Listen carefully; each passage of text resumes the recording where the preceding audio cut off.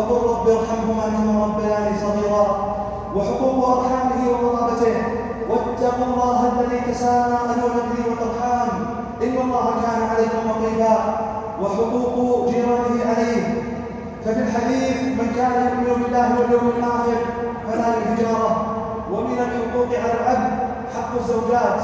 وعاشروهن بالمعروف. ولهن مثل الذي عليهن بالانفاق عليهم وتربيتهم وتعليمهم والسعي في اصلاح دينهم ودنياهم وأمر أهلك بالصلاة واصطبر عليها.